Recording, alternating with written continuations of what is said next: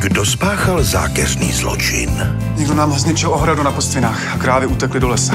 Poměnka se zlomila nohu, když spadla ze stráně. Ona je mrtvá? Jak odmítnout přehnanou péči? Někdo vás zase pronásleduje. Vlastní matka mě systematicky terorizuje. Čekáš miminko se starším pánem, takže by si směla šetřit, Denisko. A koho čeká těžká zkouška? Kdy bude táta doma? Prosím tě, štípni mě do nohy. Máš strach, že se ti tohle všechno jenom zdá? Seriál pro celou rodinu Slunečná. Já vůbec necítím nohy. Premiéra ve čtvrtek večer na Primě.